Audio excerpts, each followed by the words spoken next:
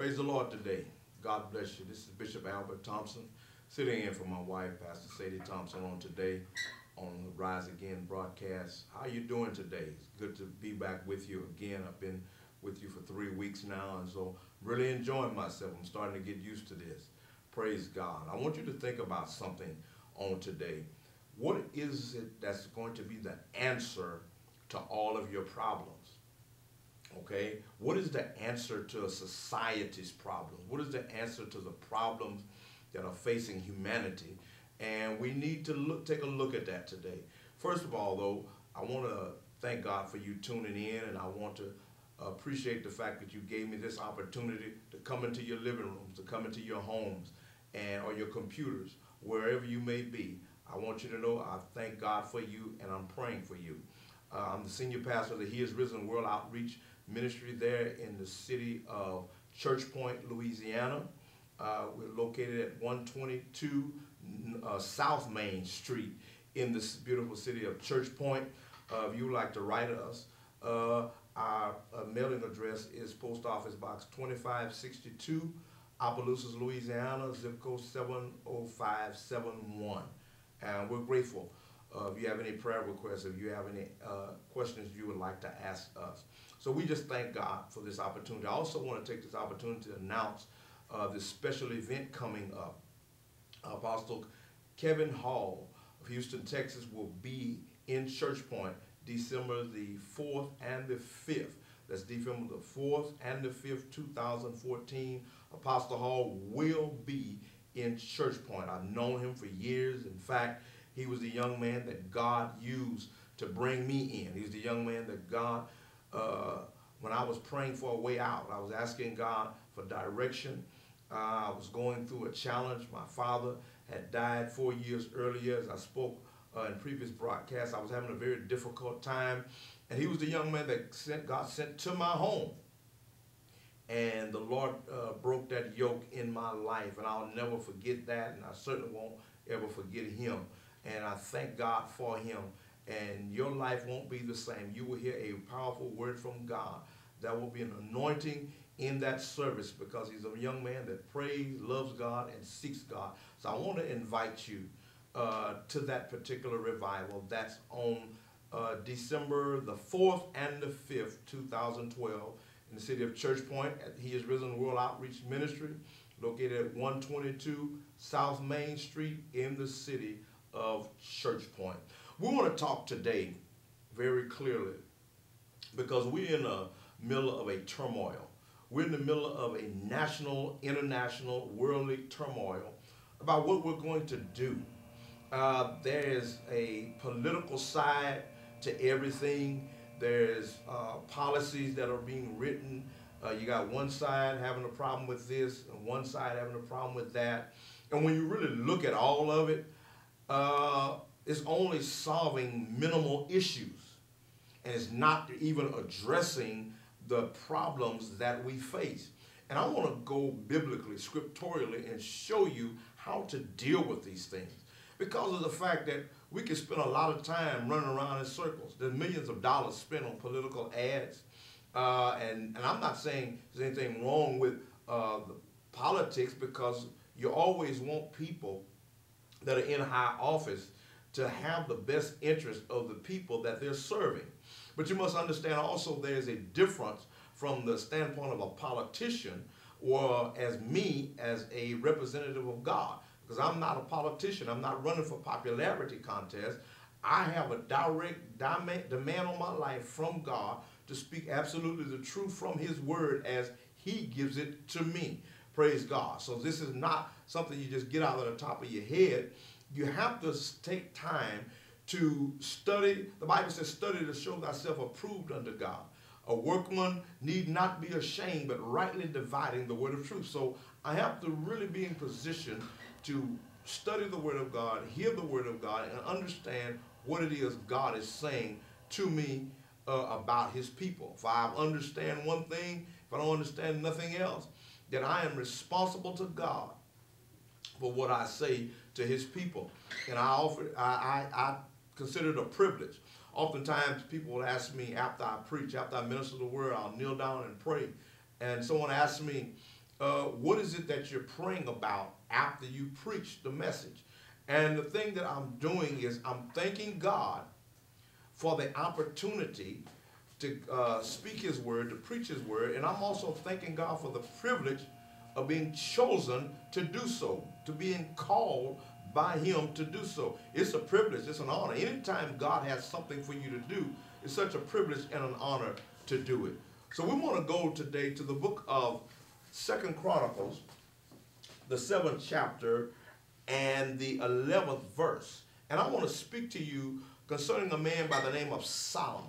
He was a king. According to the scripture, he was the wisest king that ever lived. But I want to deal with Solomon on today.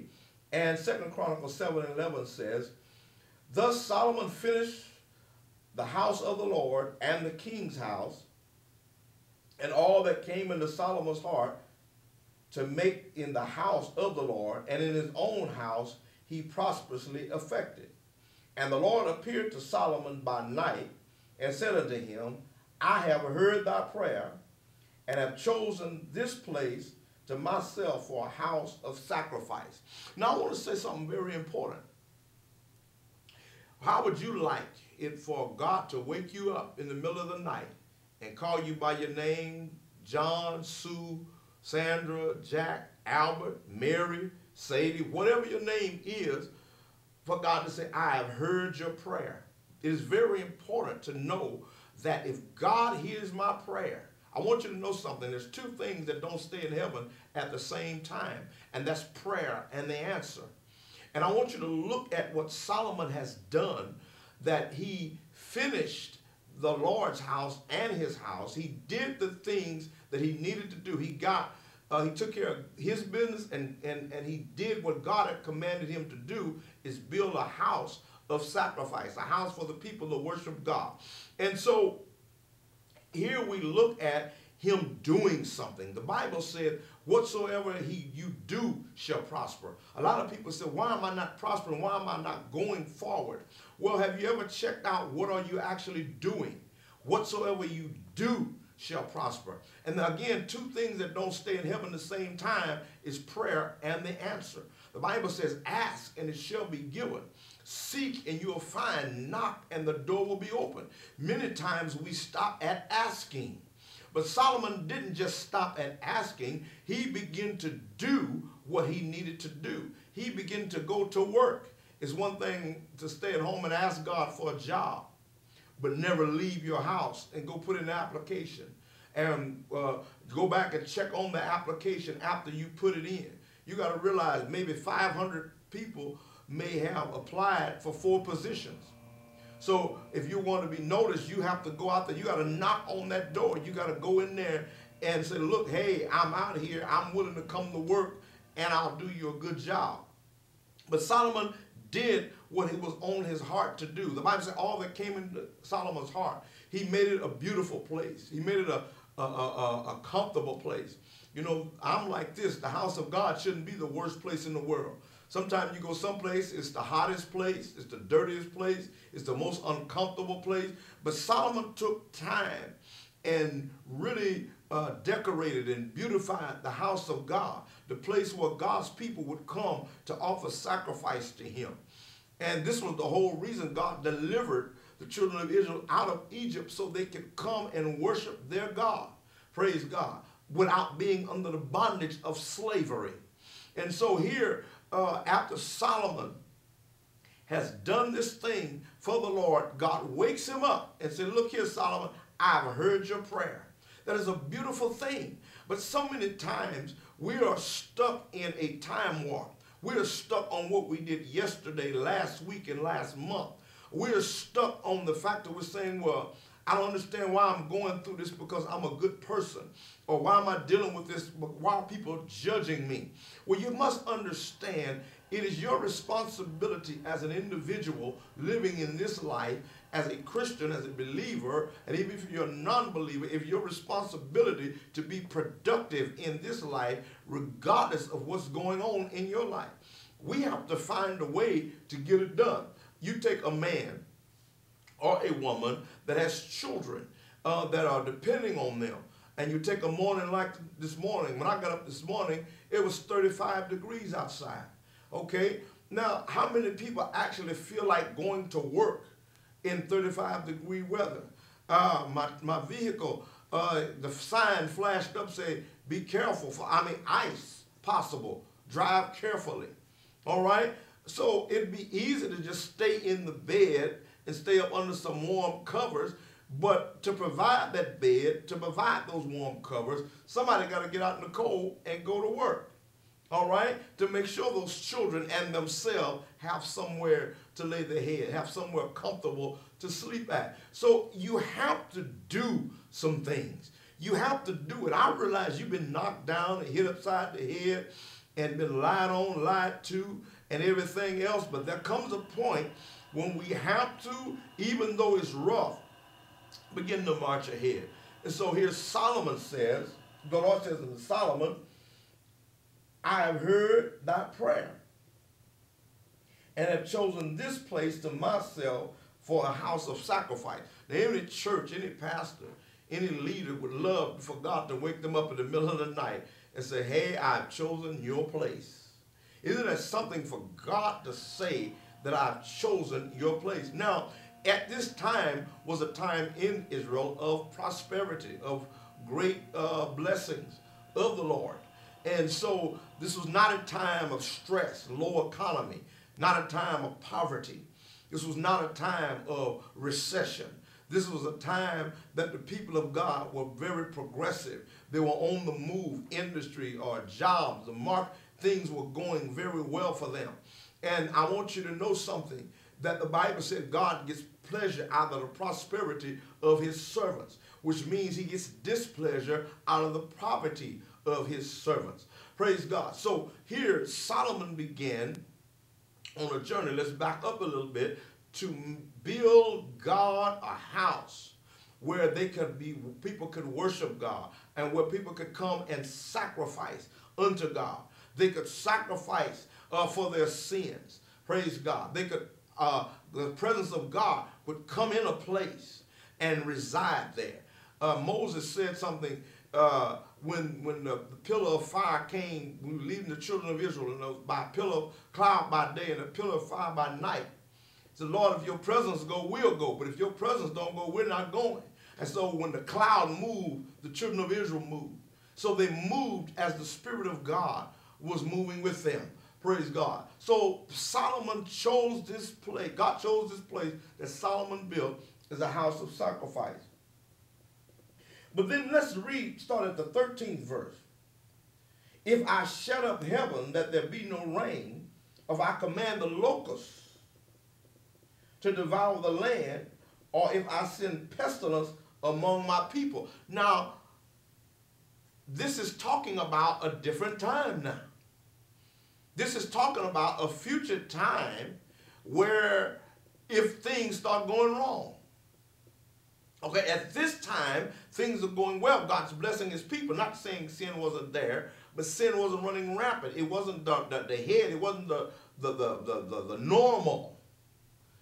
It wasn't a loose society. It was a society that honored God. It was a society that respected God, that respected the, uh, the will of God.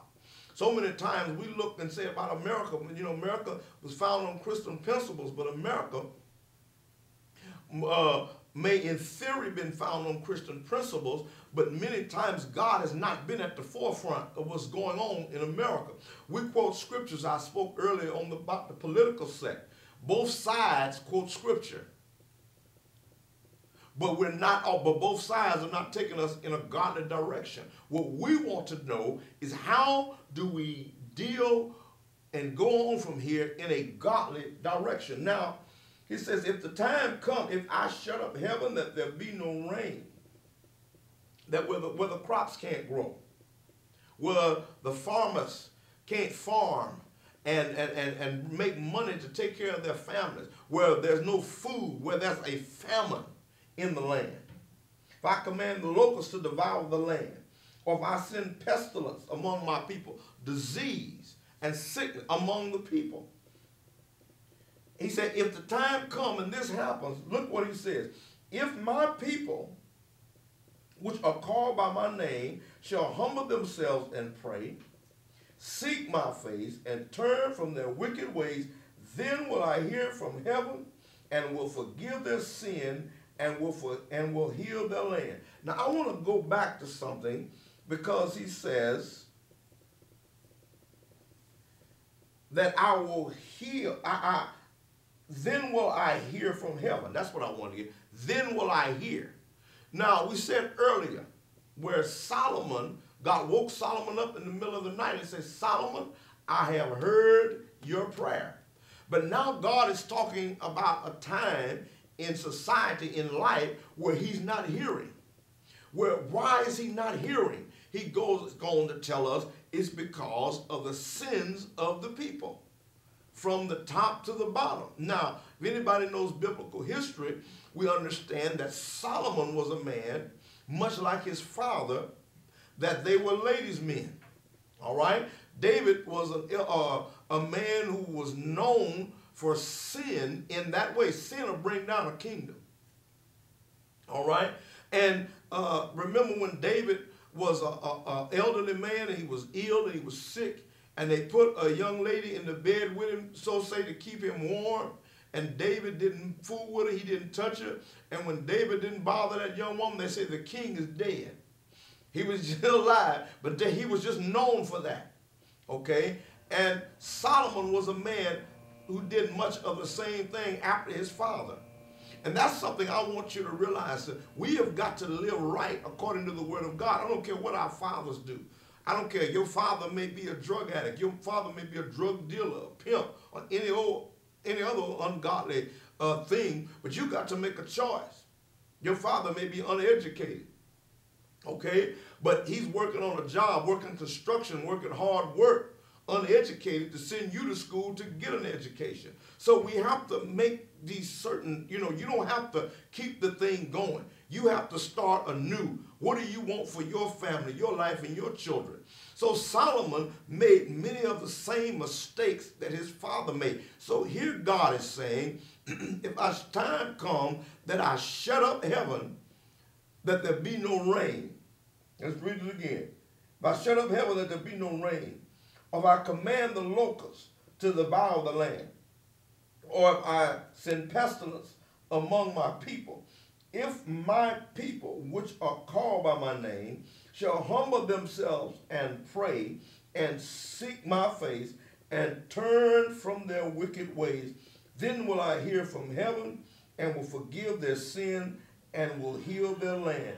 I will not hear or I will not respond. When God says, I have heard your prayer, means he's ready to respond to it. All right? See, in other words, God will hear you, but he's not responding. So what God is saying here, when they do this, then will I respond to their prayer. When they change their behavior, when they change their lifestyle, when they stop doing things that are against my work and my word. The Bible said, For this cause was the Son of God made manifest that he might destroy the works of the devil. Now, the thing about it is, what are the works of the devil? He comes to bring you down. The Bible said in St. John 10 and 10, the thief cometh not but for to steal, to kill, and to destroy.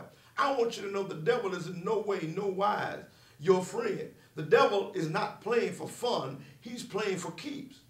He's playing to planning to take you out. He's planning to take your life. When he's the instigator of everything wrong in life. Praise God. So we must understand something. And when we are living lives on his side contrary to God, then judgment starts coming. God has to shut up certain things. He has to cut off certain things. So when you see poverty and disease, that doesn't necessarily mean the person that's in uh, directly affected is always the causer of it. But sin itself is the cause of that condition. Oh, yes, it is. It is the cause of a condition that would cause men to die early, not able to raise their sons, not able to be there uh, for their daughter's uh, wedding.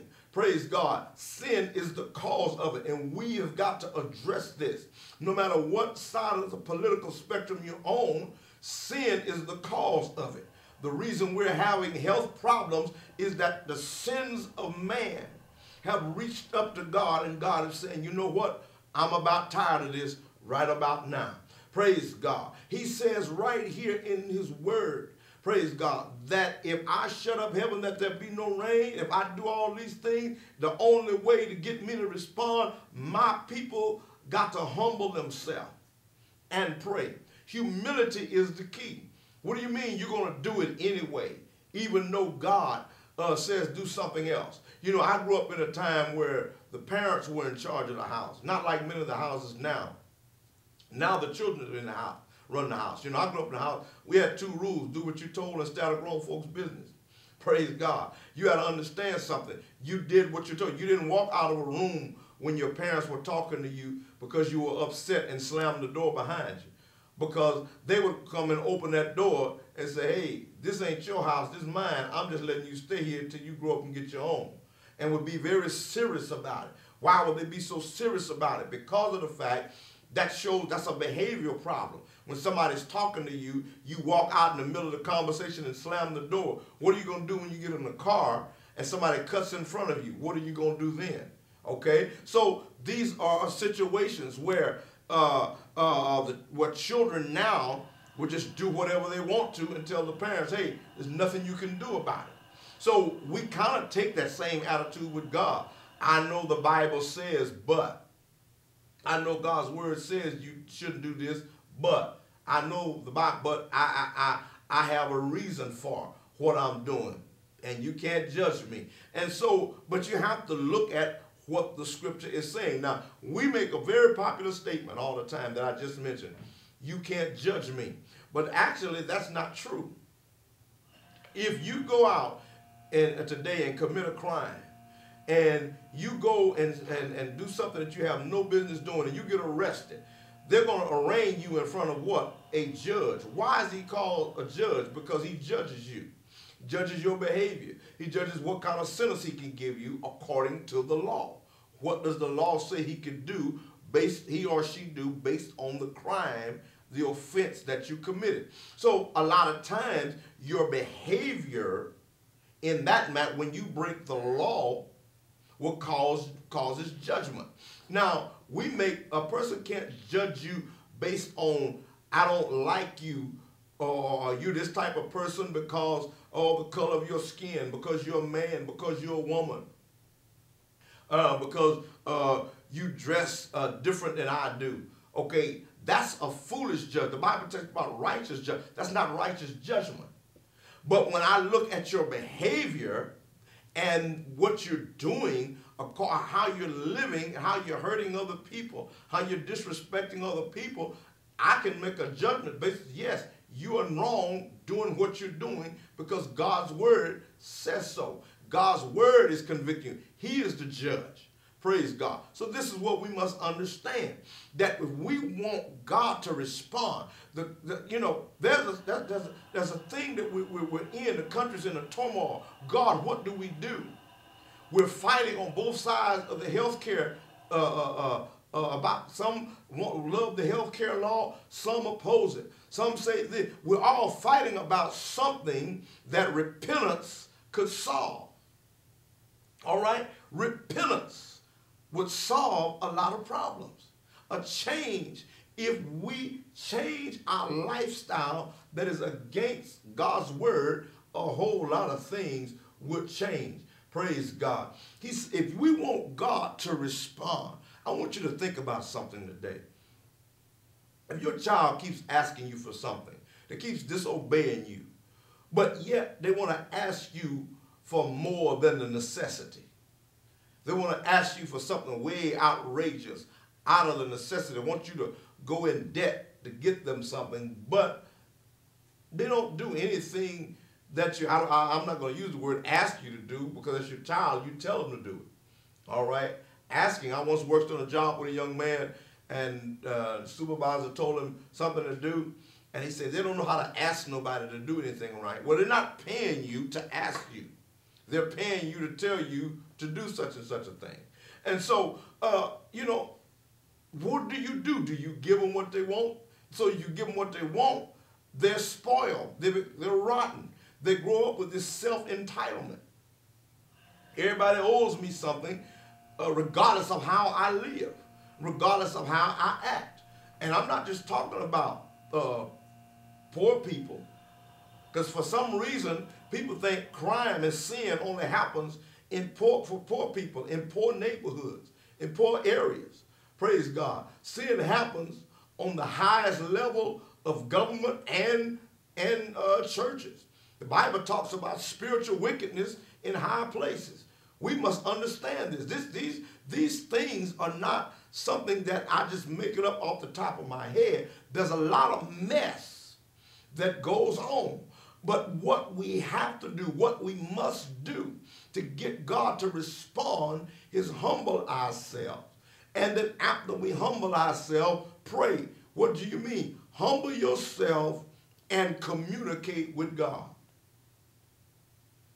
Humble yourself and then communicate unto God. Then he says, and seek my face. What is his will? That's what all seek my face means.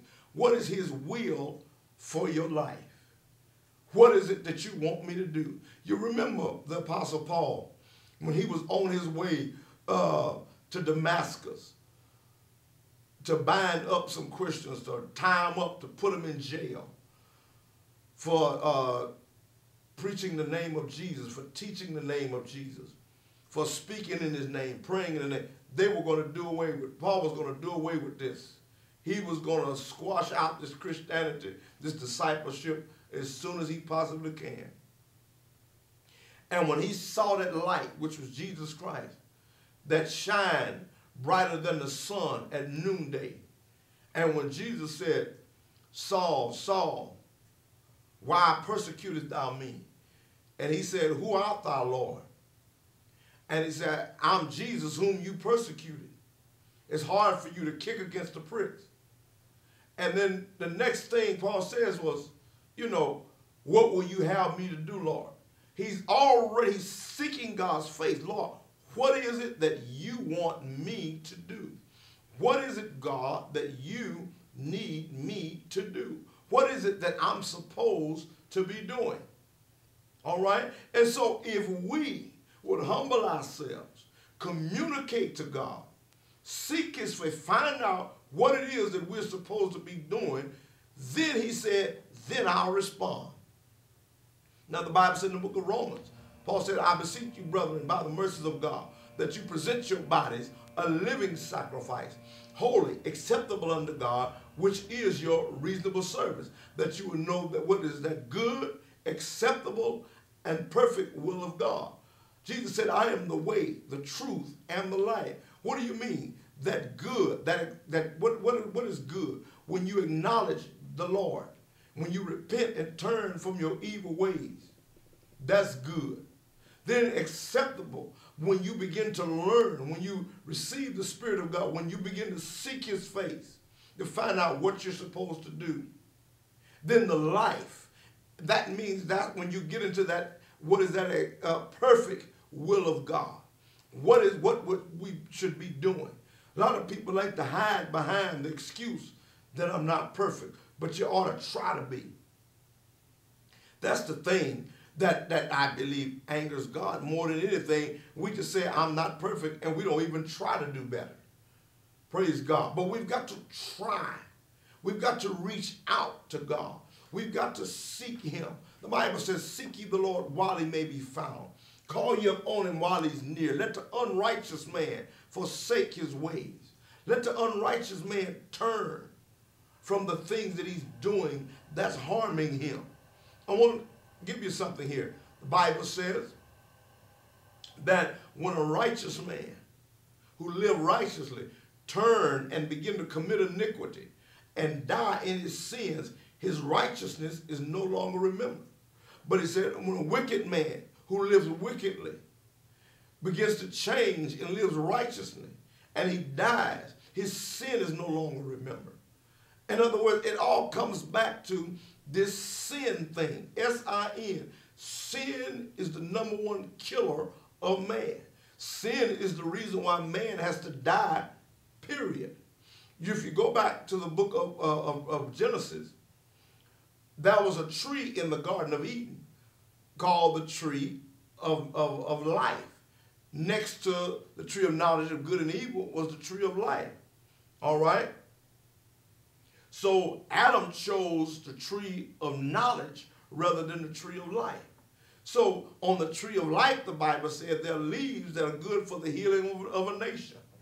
That's something. One leaf on the tree of life could heal every disease in a nation, every sickness. All right? So this is why man got to die in the first place. That's why God put him out of the garden where he where Adam and Eve could not eat off of that tree for the rest of their lives and live in sin, or live forever in sin. God told Adam, the day that you eat of this tree, you will surely die. Well, we got all kind of deep meanings saying, well, God was talking about spiritual death and not natural death. I disagree. Okay? Because the Bible said one day with God is as a thousand years, and a thousand years is one day. Adam lived 900 and some years. He didn't live a thousand years. He actually died that same day. When God told him that, he was not living in time as we know it. He was living in eternity. He wasn't living in time. So what Adam did was step out of eternity and begin to live in time, all because of his sin choices. His choice that was to do what God said not to do. Praise God. So I want to uh, uh, reiterate something here. That when God said, I'll forgive their sin and heal their land, he would forgive what you did wrong. He would forgive the thing that you had no business doing. He will forgive it means he will wash it away as though it never happened. He would forgive it. He would let it go. Have you ever had something or somebody hurt you or do something and you like you couldn't let it go? I'm going to tell you uh, uh, something. I preached a message years ago called Heart Trouble. That was a young man, a preacher, a young man that hurt me, very, just betrayed me. And in his betrayal of me, it angered me to the point because I put so much trust in it. And what angered me was the way the whole thing went down. It just really put a bad taste in my mouth. The, the, hypocrisy, the lies, the, the, the way he done it, the way it went down, it just really, really rubbed me the wrong way all the way. It just really was bad. And I got to the point where I thought about him constantly. I was angry with him constantly. I would be praying, and while praying, while I was praying, what I did, I would stop praying and I would start complaining about him. I said, Lord, this makes no sense for a man to be able to do another man like for a brother to do another brother like this. A man calling himself a man of God, a preacher, a leader of God's people. How could he do this to me? How could he lie to, lie to me and lie on me? How could he stab me in the back? How could he do all these evil, hypocritical, devilish things to me? How could he do this? I couldn't even pray because I would get so angry complaining about this man. Well, as things would have it, I had a dream. God gave me a dream. And every time I would take a step forward, a real big, huge image of this man would appear of me, of in front of me. And I would hit him in the back and I'd push him and I said, move, get out of my way. And I would just, just be incensed and rage. And I would take a step back because I got tired of pushing. The big image of him would disappear. And he would be all the way over, way on the other side of the room, in a corner his regular size. Then when I would take a step forward, this big image of him would appear again. And this went on the whole night in the dream. Meaning what? I had made him bigger than he was. I needed to forgive him and move on. He was sleeping at night. I wasn't. I was angry. I was aggravated. Life looked like it dealt me a bad hand. But it wasn't so much life had dealt me a bad hand. I just couldn't get over the fact that he lied to me and stabbed me in my back. Okay? So here we go looking at a, a situation where for me to go forward, I had to forgive him so I can move on with my life and forget about it. In fact, I forgot about it. God, while doing this message to give an illustration, brought that back to me. I haven't thought about him in God knows how long. He had me in my mind. Praise God. So uh, when I look at it, God know the things that we've done wrong. He know the things we've done to hurt him. He knows the things we've done to, uh, to, to pull down the standard that he held up for us. But he yet loves us. And he said, I'll forgive you if you do what you're supposed to do. Praise God. I didn't bring this message today to beat you up. I brought this message today to inform you that there is an answer to your problem. There's an answer to this nation's problem. There's an answer to what we're going through and what we're dealing with. And yes, you should get out to the polls and vote, but no, don't deceive yourself in thinking that the problem is going to stop there. The problem is going to continue as long as there's sin going along with it. You got on one side, they yet sinning, say we need to do this. On the other side, yet sinning, we need to do this. We got all these great ideas. And we seem to use change of terminology or change of method for change of message. And the problem is we change the message with the methods. We have more methods to get the word out right now, but we can't change the message that, that the word is bringing to us. Praise God. Thank you, Lord. So I'm so grateful today that if we would repent, if we would right now where you're sitting at, right now on your couch, right now in front of your computer, or wherever you're watching this, I want you to think about this that God is willing if you turn from your evil ways. I'm not going to sit and ask you to accept the Lord as your personal Savior because He needs to accept you. The Bible said, make you accept acceptable unto Him. I quoted it earlier. Repent. I quoted it earlier. Uh, uh, Romans 12 and 1 says, I beseech you therefore, brethren, by the mercies of God, that you present your bodies a living sacrifice, holy acceptable unto God. Your life has to be acceptable unto God, whether you accept him as your Lord and Savior or not. You've got to make sure he accepts who you are and what you say. Jesus said, Why call ye me Lord, Lord, and do not the things that I say? So I want you to think with me today that to get God to respond, I have to humble myself. I have to turn from my wicked ways. And I have to seek his face. And then will God hear. I want to pray right quickly. Father God, in the name of Jesus, everybody under the sound of my voice, Lord, as they're seeking you, as they want to change, that young man that's strung out, that young lady that has no, feel like she has no hope, that man that just lost his job, that woman whose home has just broken up, oh God, right where they are, I ask you to minister to them.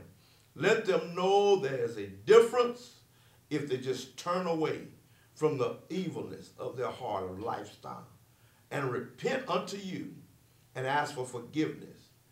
You said, if any man come to you, you would in no wise cast them out. And I thank you for it right now in the name of Jesus. Oh, yes, there's an answer to your problem. I don't care what it is, you got an answer. And I want you to say this with me. I've got an answer to what it is that ails America or ails the world. Praise God. I just believe today that if we take God at his word, he's going to do exactly what he says. Now, again, I want to take this opportunity to announce the revival we're having uh, with Apostle Kevin Hall. I want you to know that God's going to use this young man. God's going to minister to your needs. Come out and just hear and receive. We're not coming with no blessed rabbit's foot. We're not coming with no games or no gimmicks. We're coming strictly with the word of God. prayer time, seeking the face of God, and allowing God to do what it is that He's going to do in our life. There's no need that you have that He's not concerned about. For, stop thinking. Forget about that old thinking that He doesn't care. He does care. That's why he's, he sent us, he sent me with a message to let you know that he does care. And come out and hear this young man. This young man is anointed of God. It's a powerful word, a powerful message. He's a, a man of revelation, a man of understanding. I want you to come out on December the 4th and 5th. Again, December 4th and 5th at 122 South Main Street in Church Point, Louisiana. If you want further information, give me a call. Area code 337-326-7478. I want you to, if I don't answer, leave me a message, please. Please, people call and won't leave a message. And you don't know what's going on with all of that. So call, leave a message. State your reason for calling, like I say on the message. State your reason for calling, and we'll get back with you as soon as we can. Praise God. So tell us what's going on, but you need to be there. I want you to be there so God can move in your life, so you can see how God, much God loves you, to God to give you a word, God to give you a special word, God to give you a word of direction for your life, for God to minister to you right where you need it. Whether it come from a financial area, whether it come from an emotional area, whatever it is, you want God to speak to you in your life particularly. We want you to meet us there on the 4th and 5th. That's a Thursday and Friday night of December on this year. And then also uh, meet us there at 11 o'clock. Meet us there at 11 o'clock on Sunday morning and we want to meet you there. We want to see you there. We want to pray for you and we want to pray with you because we love you. What we're doing is the will of God. I'm, I'm a young man that has been in a position where I had been devastated by people. I had been devastated and hurt by people from family, uh, friends on down to the church. Amen. I've had people stand up. I remember a young man coming up, didn't have much money, didn't have anything uh, naturally, but I love God and I was trying to get there. Instead of somebody saying, let me show you how to get there, they would look over at me and I wouldn't dress as well as the other preachers. And they look at me and say, how you going to tell somebody God is a good God?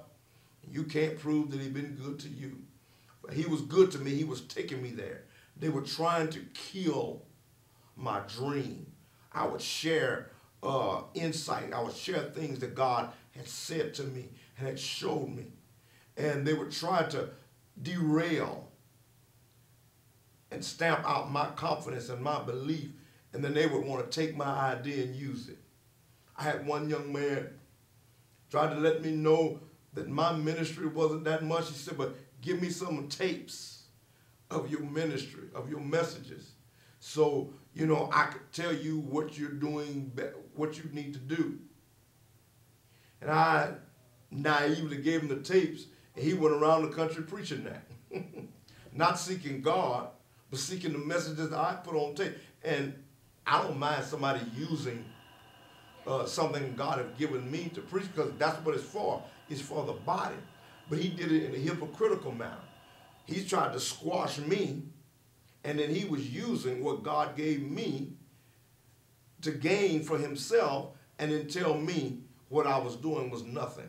And it gets to a point where your when your dreams, when your desires uh, can be just squashed out. And I want to speak to the preachers. I want to speak to the ministers, for example. You have to be careful of the people that you have around you. You have to be careful of the people that you allow to be around you. You have to understand that there are some people that love you, but they don't love your ministry. There are some people that love your ministry, but they don't love you. What you need is the type of people around you who loves both. Let me give you an example.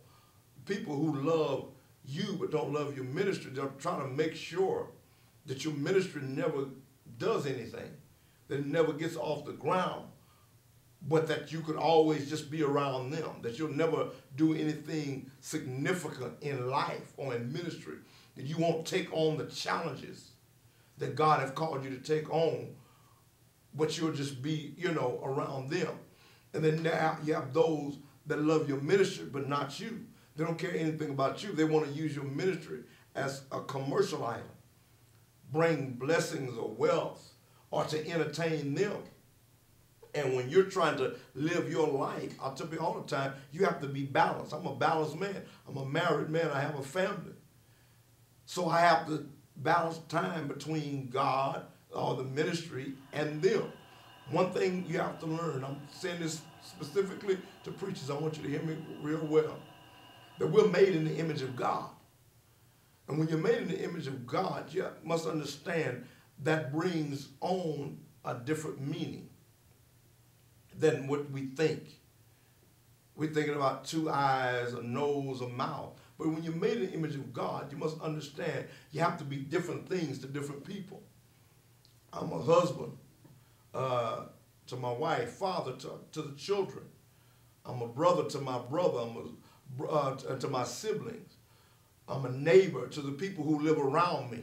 I'm a pastor to the members of my of the congregation where the Lord has put me over. So I have to function in those roles. I'm a son of my mother. I have to function in every last one of those roles. And I have to function as God would give me to function. According to his word, I have to function. And so when uh, Jesus began to talk about the different things that he was in the New Testament, he said, I am the bread of life. He said, I am the way, the truth, and the life. He said, I am the true vine. My father is the husbandman. In the book of, uh, of, of Exodus, when God was about to lead the children of Israel out of the land of Egypt, Moses said, Lord, what is the name of this God that I got to go and tell your people?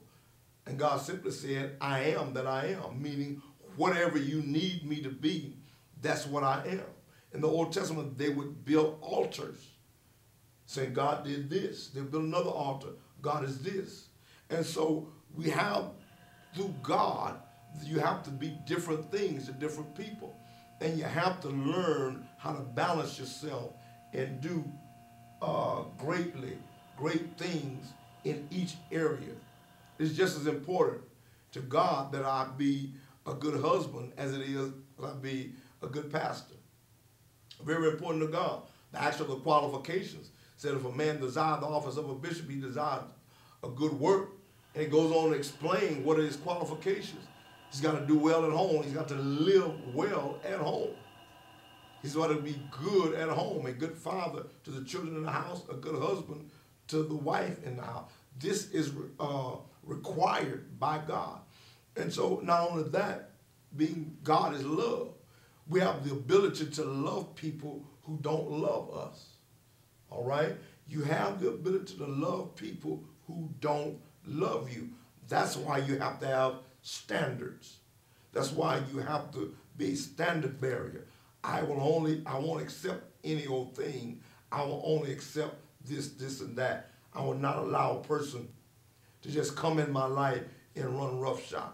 So my answer, my message to even the ministers, and not just the ministers, to everybody, we have to be a people of God that are balanced, and look at every angle of our life. Let God, the Bible says, in all thy ways acknowledge him, and he shall direct your path.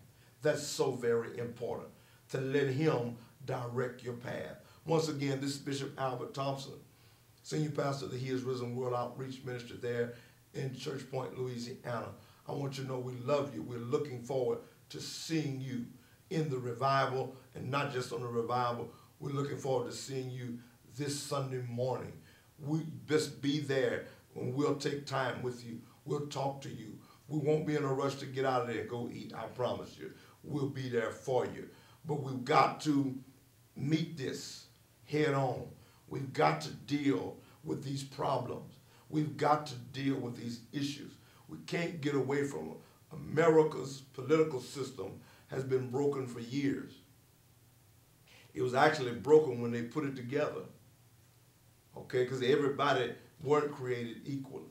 Created equal by God, but not created equal by the standards of this country. And so we have got to get down to the root of the problem. And the root of the problem is sin. And we have got to defeat the devil. We have got to defeat him. We have got to defeat him. Jesus said, Behold, I give unto you power to tread upon serpents and scorpions, and over all the power of the enemy, and nothing shall by any means hurt you. Nothing.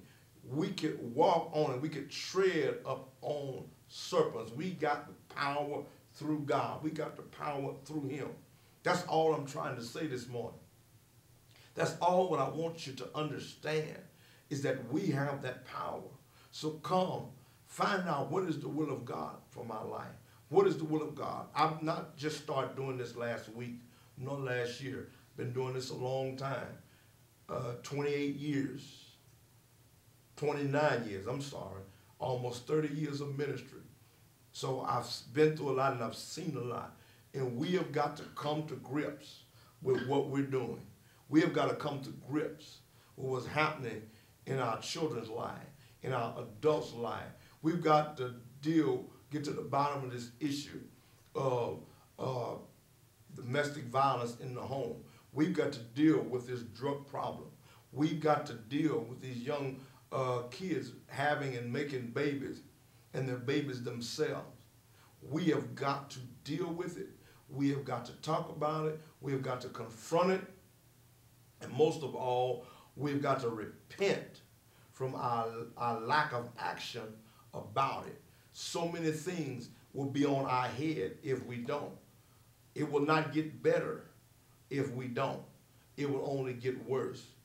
I want you to know I read something some years ago when I was early part of ministry, how when they took prayer out of the school, how um, dropouts and how crime and how all of these things begin to happen at a, such a higher rate. Just a little prayer. And Some people all been out of shape. Oh, my child, I, I, nobody ever made me pray when I was in school. But I knew one thing, prayer was the answer. What, you know, this big, out of all the problems we got, all the problems that's going on, we don't want somebody communicating with the God who could fix the problem who could handle the situation, who could destroy and break the yoke that's binding you, that's tearing you down, that's tearing our economic system down, that's tearing our health system down, that's tearing our physical bodies down. We have got to go to God and repent. So remember, remember what I've said to you. Remember what I've said to you today, that we've got to change. We've got to turn this thing all around. Again, this is Bishop Albert Thompson. Will you meet me there? Will you meet me there in uh, Church Point this Sunday? Come by, call me. My phone number again is 337-326-7478. My email address, bishobalbert at outlook.com. Again, that's bishobalbert at outlook.com. Find out what the will of God is for your life. Find out what God wants you to do. Find out what God needs you to do. Find out how easy it is. Because see, people have been saying for so long, it's so hard to live right. It's not.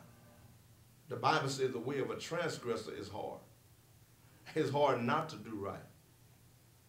You know, the way of a transgressor is hard. Jesus said, My yoke is easy and my burdens are light. Praise God. So, once again, we're located at 122 South Main Street in the city of Church Point, Louisiana. We're also having a special revival that's uh, December the 4th and 5th, 2014, here in the city of uh, in Church Point. So, we're just thanking God. My producer said it's time to wrap it up. So, hey, God bless you. We love you. Let's rise again.